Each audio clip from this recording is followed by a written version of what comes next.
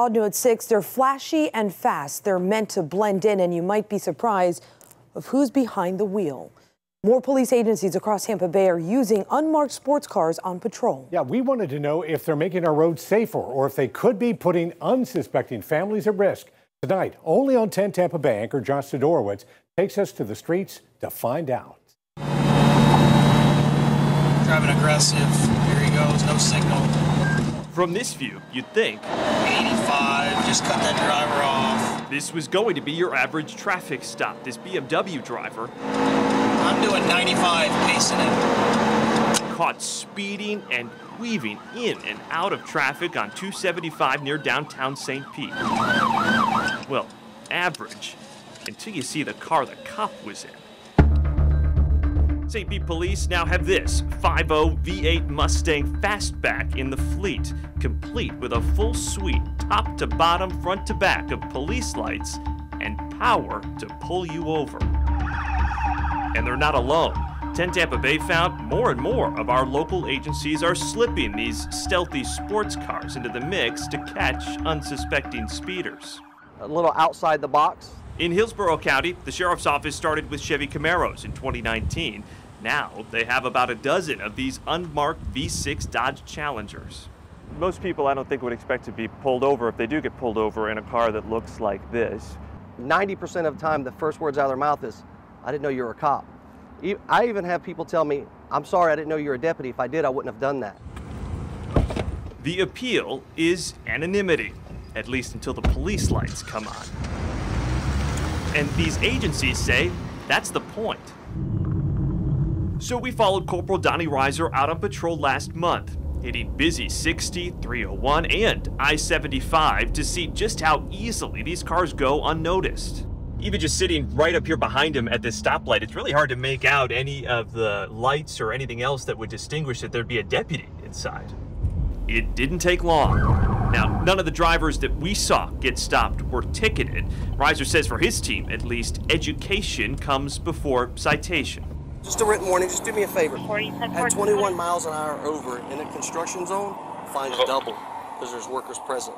That citation for you today would have been about $500. The approach is not the same for every agency. He has everything that a, a normal patrol vehicle would have in it.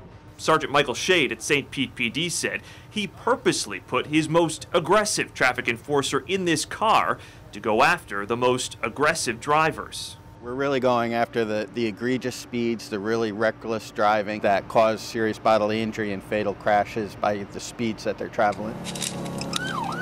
But with more cops using unmarked cars, it's raising concerns about police impersonators. Just last summer, this guy was arrested for pretending to be police, caught pulling people over on I 75, including this man and his family. you realized that you were in more danger than you knew. Both St. Pete and Hillsborough say an officer or deputy in an unmarked car will always be in uniform, and the car will always have multiple flashing lights. Still, what these agencies see as a major asset When I think about unmarked police cars, I get awfully concerned. leaves major questions for others. James Wright is a professor in police community relations at Florida State.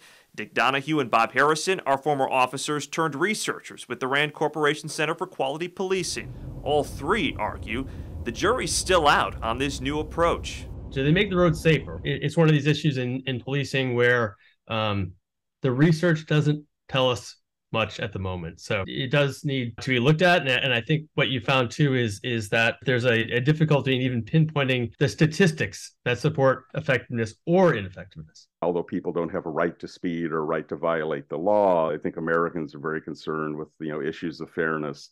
You know, are they sneaking up on us? Is this a speed trap? When 10 Tampa Bay tried finding if deputies, officers, or state troopers in unmarked sports cars were writing more tickets than their marked counterparts, we were told by St. Pete, Hillsborough, and the Florida Highway Patrol citations weren't tracked in that way. We were also curious about how much these cars are costing you. Turns out they're pretty comparable. St. Pete Police told us this brand new Mustang, outfitted with the necessary equipment, set the department back around $55,000, which isn't far off from what a typical marked Explorer runs. Just think about your family.